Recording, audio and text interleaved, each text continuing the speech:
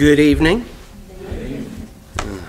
It's good to see everybody. Some of y'all may have noticed that um, uh, Weldon's not here. He's doing okay. Mindy's got some back problems, though, and hard for her to deal with his walker and, and what have you. Um, if you want to go ahead and open up your Bibles to Psalm 66. Psalm 66 is where our devotional time will be this evening. Let's see, 20 verses here. Psalm 66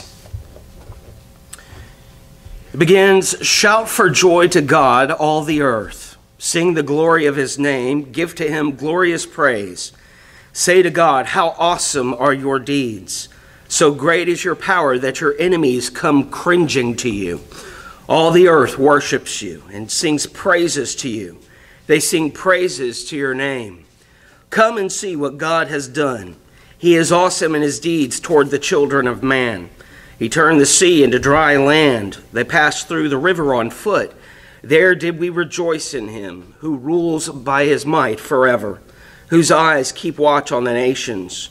Let not the rebellious exalt themselves. Bless our God, O peoples. Let the sound of his praise be heard, who has kept our soul among the living and has not let our feet slip. For you, O God, have tested us. You have tried us as silver is tried. You brought us into the net. You had laid a crushing burden on our backs.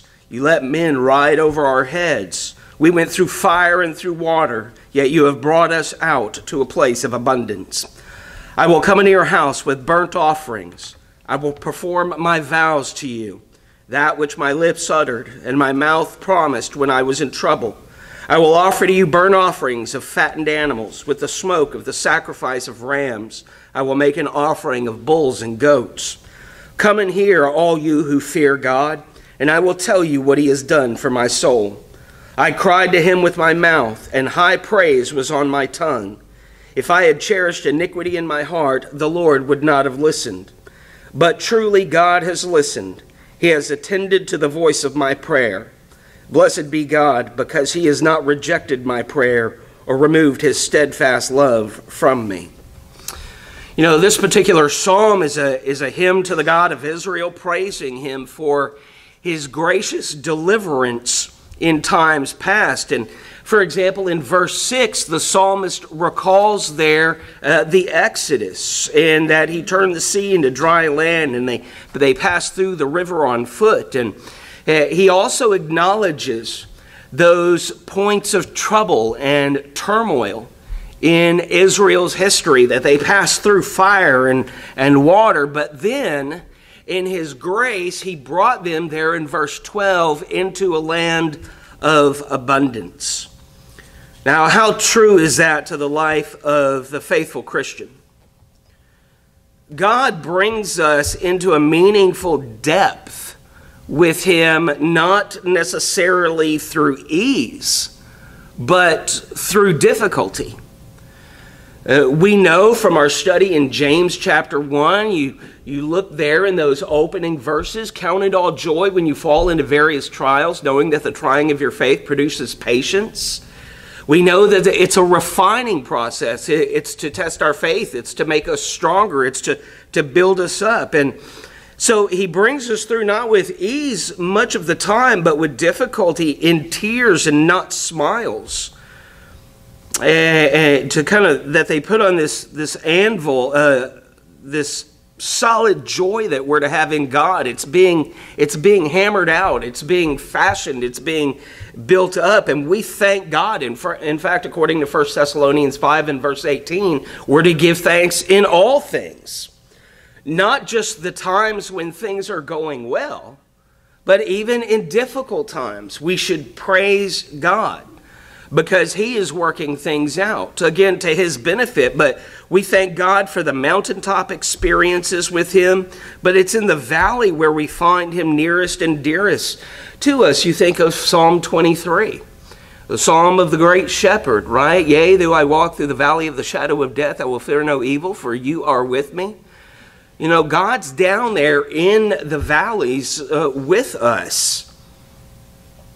And we see here when we look at these verses, and he talks about praising God, there's something interesting that stands out to me, even more so than all of the others. Verse 13 and 14. I'll just read those uh, again real quickly. I'll come into your house with burnt offerings. I will perform my vows to you. And then, verse 14 especially, that which my lips uttered and my mouth promised when I was in trouble.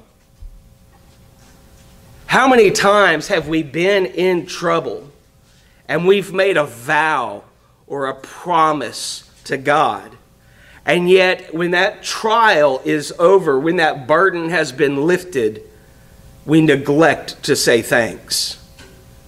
Say, you know, we don't even think about it sometimes. We're in trouble. There's things going wrong in our life. We pray to God for help. God delivers us or helps us. And then there's just this forgetfulness, right? It's almost like uh, the woman who's she's pregnant and she prays for these nine months. Uh, you know, I pray that uh, my baby will be well when they're born. I pray that they're healthy. I pray that they're a good weight. I pray that they're loved. And then when the baby's born, thanks God, I've got it from here. Just that type of attitude and that, that mindset. And so uh, the question that I have for us are you in a valley now? At some point, at some way in your life, do you feel that you're, you're fighting your way through fire and through water like they did? It could be emotional, relationship, parental, marital, financial, physically. I mean, there's really there's no pat answer to, to it. There's no quick formula. But we can take comfort in Psalm 66. Through tears, he brings us, what's it say there? Verse 12, to a place of abundance. Through those, through those tears. Now, you might think about those tears and when you do, when you're, when you're sitting there and you're crying either in emotional pain or physical pain, and you're thinking that, that God's not hearing you, you might think of Psalm 56 in verse 8. Psalm 56 in verse 8 says, You keep track of all of my sorrows.